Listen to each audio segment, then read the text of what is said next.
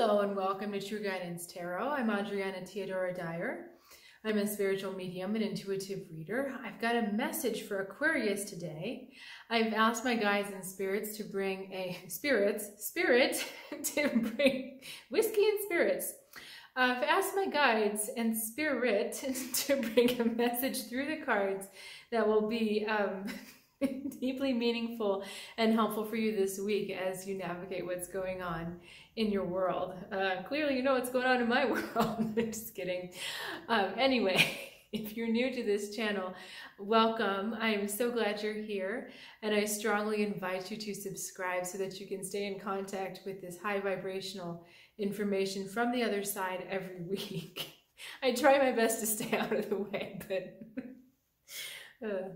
anyway, if you're returning, so glad to see you. And um, I really enjoy sharing this information with you. And thank you so much for sharing your time.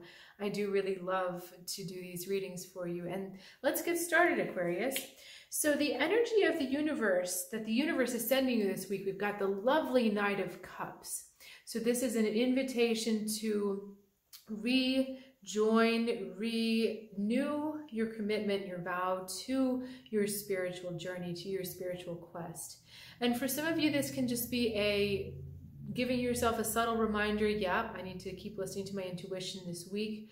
For others of you, this is looking for more connections, more synchronicities in your world around you. Whatever spirituality or connection, connection to the higher power means to you, that's what's being asked of you this week. And this is a really joyful, kind of rushing energy that I'm feeling. That this is a, it's like um, sometimes when you're maybe distracted from the spiritual path for a while and you come back, there's like all of this like welcoming you back kind of energy with all sorts of stuff, all sorts of synchronicities, all sorts of things working out just in your favor. That's kind of the energy that's going on this week. So a lot of, like I said, really favorable energy. Now, you don't necessarily have your sights on that. You've got your sights on this Two of Cups. So your your focus right now is relationships and it's like the relationships right in front of you. So these are more emotional relationships, not talking so much about colleague or worker that kind of more distant. These are closer relationships that we're talking about. And so remember that the universe is presenting you with this higher, higher octave, higher octane, the Knight of Cups. The Knight of Cups is also someone who quests after relationships, but more than relationships, he quests after that spiritual connection. So sometimes when the Knight of Cups comes up for a reading, that I'm doing for someone and that if that's representing the person, we're looking at someone who is a spiritual person who is deeply connected to their intuition, who is also possibly very artistic, good with words. So anyway, getting off the subject, that's the energy that the universe wants you to focus on, but you're kind of looking at what's right in front of you, these relationships.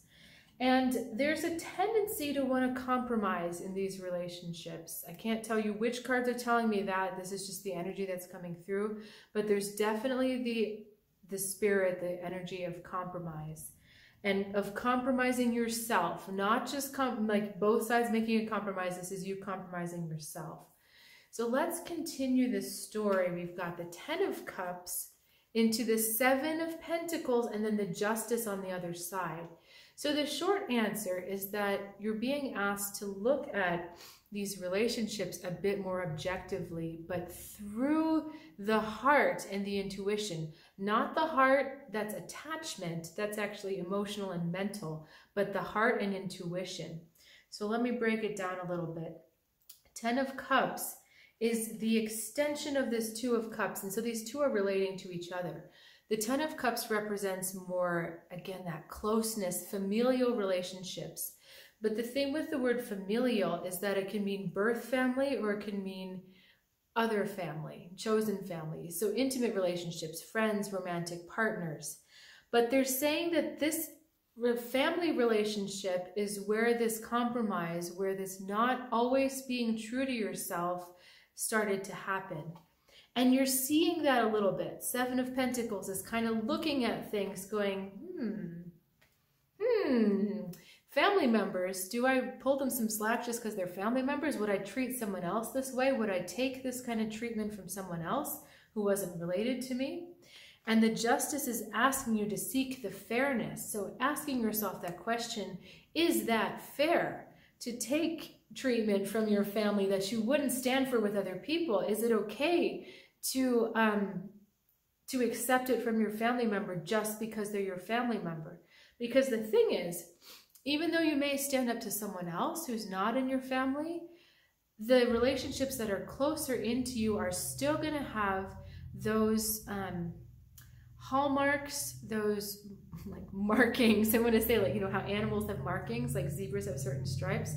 They're going to have that same flavor because all of those, your close relationships stem out of your close relationships.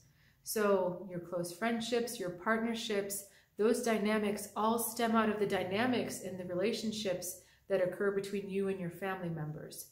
So what the universe is trying to get you to do is, again, remember this. Remember your connection to your intuition.